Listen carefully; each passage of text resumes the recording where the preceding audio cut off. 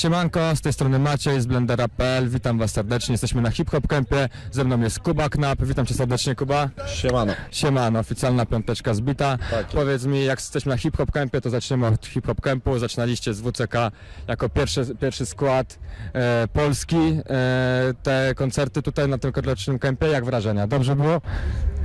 Było świetnie. Tak, nie chcę się powtarzać tego, co Dokładnie. mówiłem, bo to już było poza kamerą. E, no ale nie, no było cudownie, no.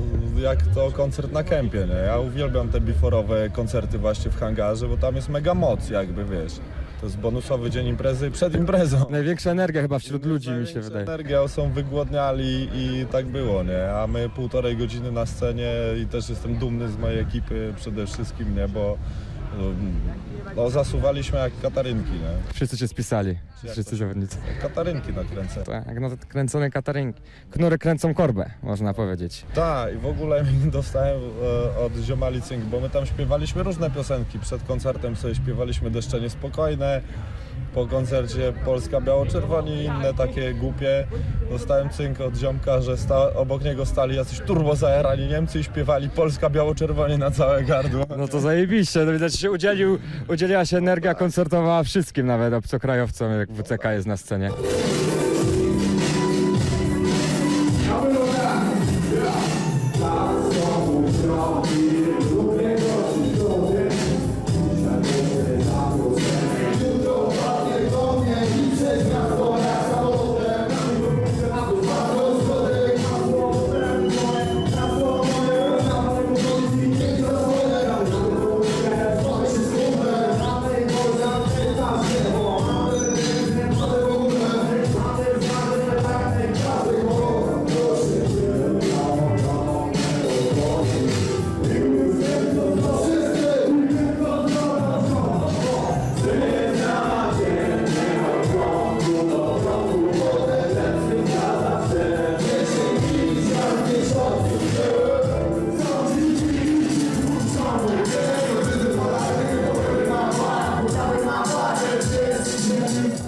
Powiedz mi, jak już jesteśmy przy temacie kempu, jakieś inne koncerty, na coś czekasz najbardziej na tegorocznym kempie? Jakieś takie pozycje must, must see, które musisz zobaczyć pod, pod sceną? No tak. Ja znaczy, na pewno JWP, nie? Bo to ja tam jestem zawsze.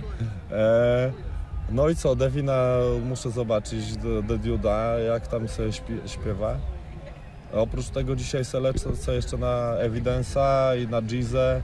Immortal Technic jest między nimi, zdaje się, więc też go sobie zobaczę z ciekawości. Wczoraj oglądałem Hilltop Hoodsów z dystansu. I jak w ogóle Hilltop Hoods? Bo według mnie to wczoraj największy chyba rozpierdol na No więc koncercie. ja nie byłem pod sceną, więc też inaczej zupełnie. No, no, no. Co siedziałem na górce i tam obserwowałem, a, a też nie znam ich twórczości za bardzo, ale dawali radę, no. Taki... Myślałem, że, wie, myślałem, że większy właśnie zasieją taki, wiesz, że... Aha, że jeszcze to bardziej. Bomba, a oni to są tak właśnie na spo, no, wpierdol na spokojnie. No ale na przykład do, nie wiem, widziałeś Suicide Boys koncert? Nie, słyszałem go stąd, ale to jest nie moja baja. Dokładnie, no ale tak właśnie to granie pod ten, pod sw- swoje wokale puszczone, jakby hypowanie, hypowanie samego siebie, jakby bycie hypemanem będąc główną gwiazdą, nie? Bo tak teraz chyba wygląda, mi się wydaje. Nie wiem, czy masz takie ja nie sobie? wiem, jak to teraz Nie? wygląda, stary, dlatego idę na Evidence, A. The Dude i na Gizę, bo myślę, że oni no, też nie wiedzą, jak to teraz wygląda.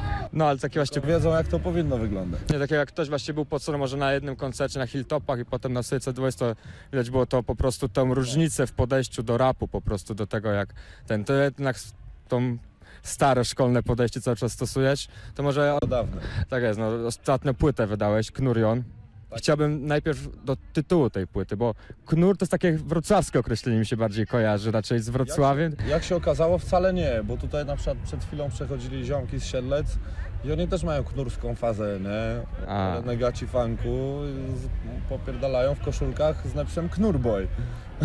A ty w ogóle to jakbyś to rozszerzył, gdzie jakoś rozszerzyć tego Knura? Kim jest Knur w tym takim funkowym? Nie brzem, no. E, no nie wiem, no tu chodzi, wiesz, nie wiem w zasadzie skąd się wziął knur. Chyba od robienia trzody, nie? E, ogólnie rzecz biorąc, ale to też wynikło tak samo z się.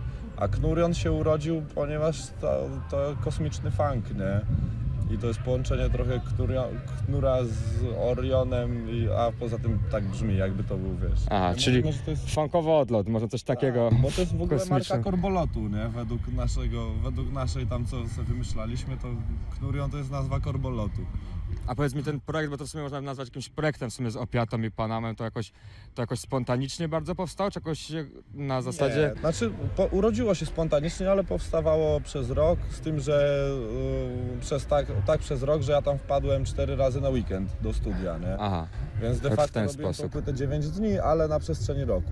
teksty pisane na przestrzeni roku też, czy jak wpadałeś do Znaczy, studia? Ja pisałem i właśnie, wiesz, wpadałem do studia z tekstami, które napisałem w domu, ale potem nagry, nagrałem na przykład, wiesz, cztery kawałki, a i tylko jeden napisałem w domu z nich, nie? Bo resztę na miejscu.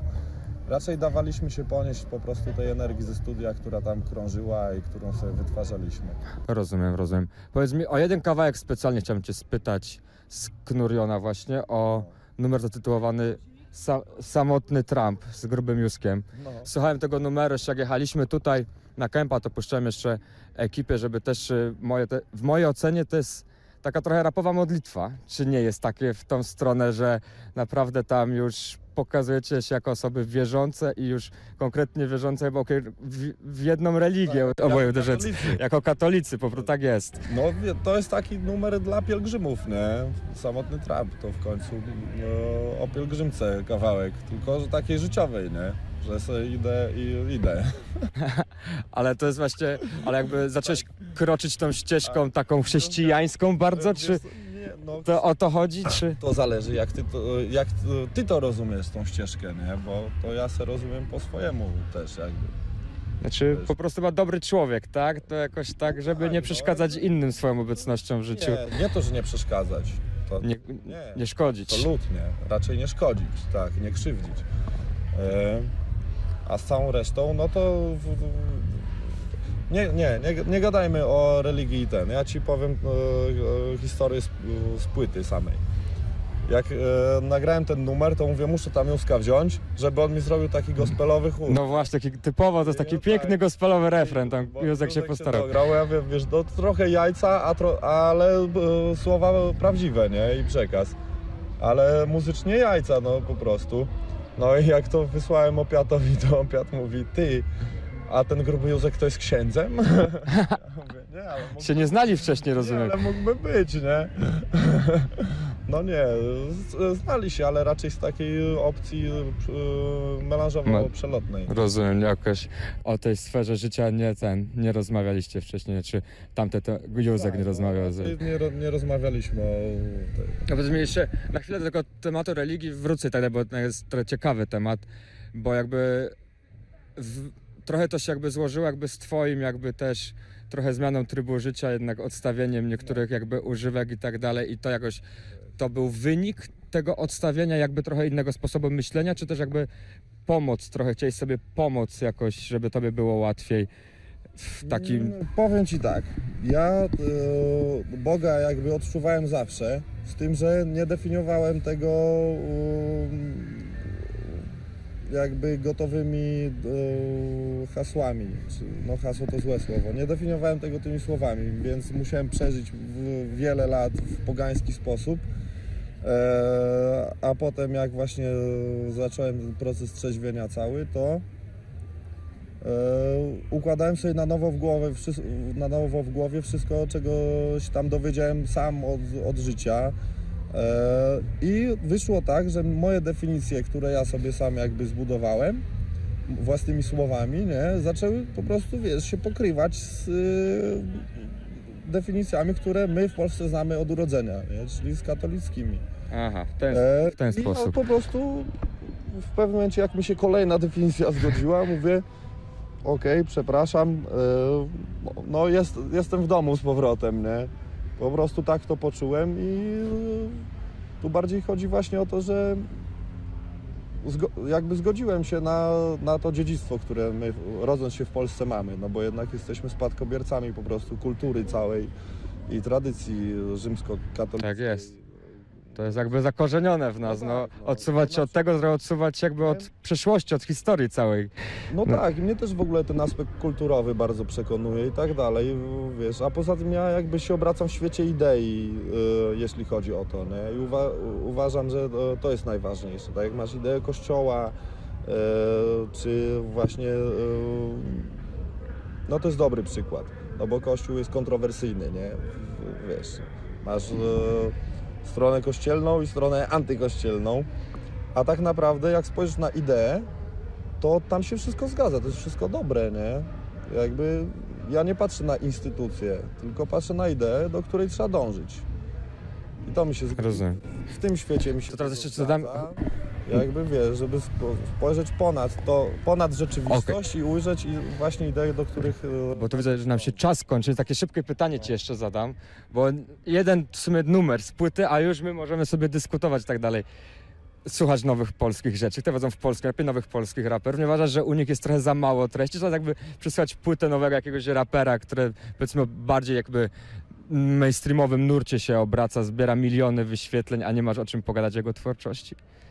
Słuchaj, ja nie, ja słucham płyt, które mi wpadną w ręce, a tak się składa, że jak ja dużo jeżdżę po Polsce i odwiedzam różne hip-hopowe światy w tym kraju, to się okazuje, że undergroundowy hip-hop po prostu y, żyje bardzo bogatym życiem i bardzo I wymiata. dobrych ziomów i to też zupełnie jest inny odbiór wtedy takiej płyty, bo wtedy nieważna jest jakość jakby nagrania i tak dalej, ale jak ja sobie jadę, pogadam, spotkam się z kimś, o, wie, przejdziemy się na spacer po ich mieście i potem Johnny mi daje płytę, ja jej słucham w domu, to ja tą płytę czuję, nie?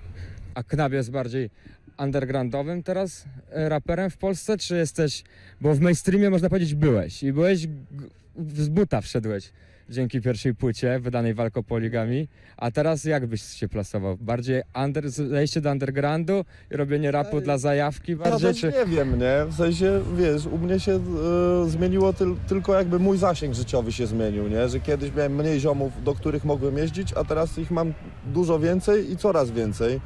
Więc coraz częściej se robię wycieczki i coraz częściej nagrywam rzeczy z ziomalami z e, kąt i nąd i coraz więcej ruchów wykonuję, a nie wiem jaki ja mam status w ogóle w tak zwanej branży, nie? To pewnie inni by musieli ocenić. Nie wiem, no. Tak, ale to też, jak spotykam różnych fanów, to jeden ma e, wizję jedną, a drugi ma inną, nie? Jeden myśli, że ja jestem kotem z mainstreamu, a drugi y, twierdzi, że, że jest mnie znacznie, znacznie za mało w mediach, nie? A ja nie wiem, no. A ty robisz swoje po prostu. No tak. A kolejne już masz ruchy zaplanowane? Już wiesz co będzie po Knurionie? Nie wiem, co będzie, ale mam dużo zrobione. Aha, czyli możemy się spodziewać jeszcze czegoś. Tak. A w tym roku jeszcze? Teraz tak zareklamuję a propos undergroundowości i, i mainstreamu. Zrobiłem sobie tą stronkę TP Knapa, mamy własny sklep Mhm. wck7.com e, i tam będą wszystkie rzeczy od nas i ode mnie głównie też. E, no i tam będą wychodzić. Nie wiem jeszcze w jakiej kolejności te rzeczy, które mam porobione do teraz, ale będzie ich dużo. To już Ci mogę powiedzieć, bo już jest ich dużo. No to mamy przeciek, a w tym roku jeszcze coś usłyszymy? Jakiegoś nowego knapa? Myślę, że tak. Solo czy w jakimś projekcie? I tak, i tak. No to miło słyszeć, to miło słyszeć, że coś jeszcze od ciebie będzie. Czekajcie na nowe rzeczy od Knapa, sprawdzajcie Tipi Knapa. W tak. Tipi się dzieje, dzieje się dużo. My będziemy kończyć, bo nam się tutaj kończy czas, a też zaczynamy No, już, tak powiem, Kemp trwa. nie? dokładnie, Właśnie. powracamy do kempowego życia. Tak Widzimy się pod sceną.